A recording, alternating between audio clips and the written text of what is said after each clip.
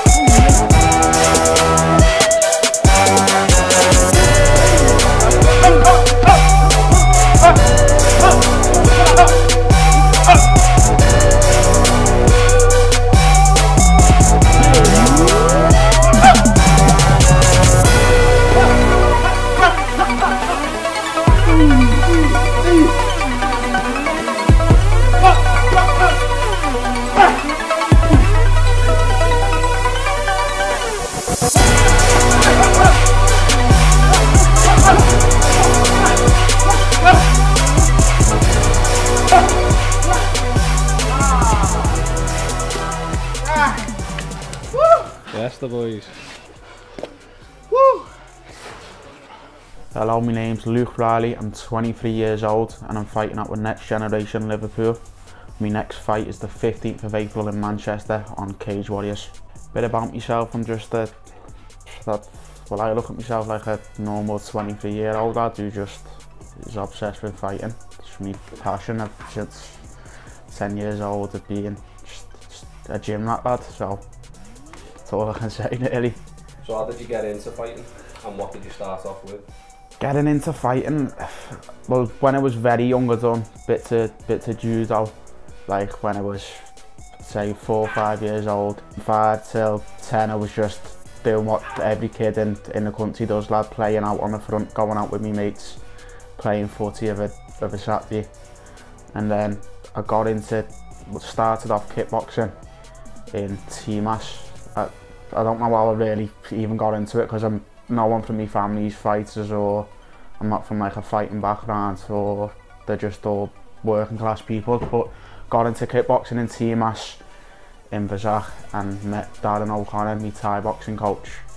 Where I then went on to Thai box for five years moved on to amateur boxing five years and then now where I'm at now next generation MMA coming about next gen was a mad one because I was amateur boxing at the time for Gemini ABC in Speke and I just shouted my mum up to the door and said literally I just said I'm I'm, I'm quitting boxing I'm doing MMA and it told me um, I was at Gemini but I was doing pads with my coach Scotty at the time and I told him and he got in touch with everyone he knew and he asked everyone uh, what the best MMA gym was and they all said next gen few, a few others said a few different gyms in the area, but there was kids around my age, and I, like at the time, I'm a, I'm a competitive person. I, I wanted to fight them. I didn't want to be teammates with them, so I was looking at the gyms with the kids my age. Was like, no, I'm not going that gym. I'm going to the gym where I want, I want to, want to be against every one of them. So next gen, that's where it ended up. And that's how long you've known Scotty for as well? Scotty, so I was amateur boxing at the time, so I started amateur boxing about 15, and like a year in. That's it, yeah, a year in. So from 15 till To know. to now. So what's that? Yeah, eight years.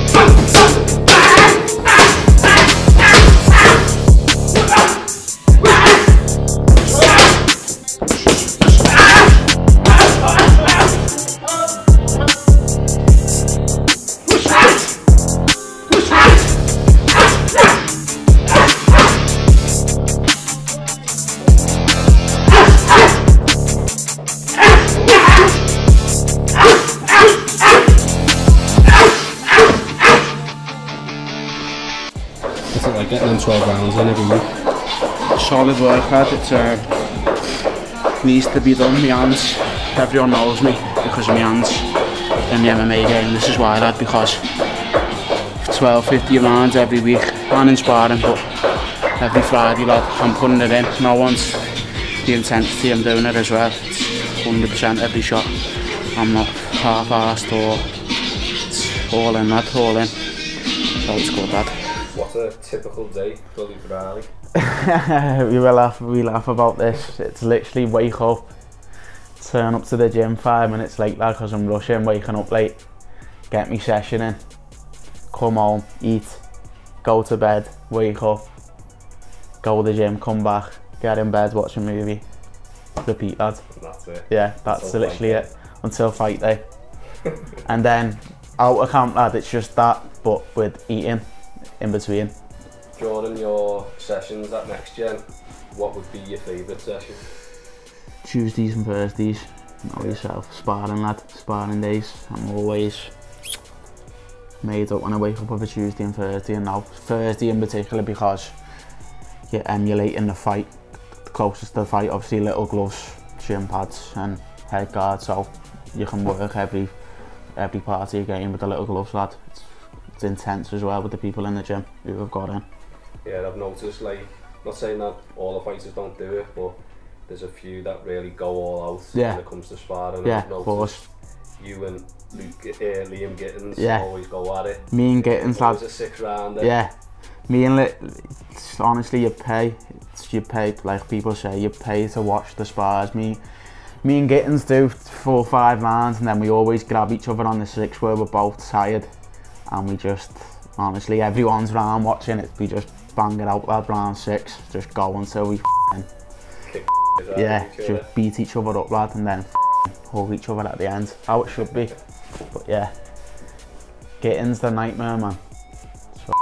Horrible guy. Fighting on the same night as you. Yeah, Gittins as well, who's going to make a big statement in the um, bantamweight division, lad. He's fighting Rory Evans, so be a good fight, but I think Gittins is just going to be a bit too much for them, to be honest. How's your fight camp going, and uh, what can your fans expect out of this next fight?